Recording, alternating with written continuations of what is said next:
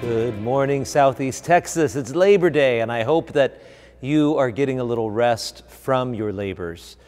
It's a great day for us to be reminded of the beauty and the dignity of work. Most importantly, the beauty and the dignity of the worker, namely us. Uh, we pray for a society where there are just wages, where there are safe uh, working conditions uh, we need to always work harder to make sure that we are the best we can be as a nation uh, and as employers. Uh, and to be reminded on Labor Day that work is a means to an end. We should not be slaves to our work. We should work so that we can provide for our families and build up our community. Happy Labor Day. My prayers are with all of you who work so hard uh, in our society and in our community.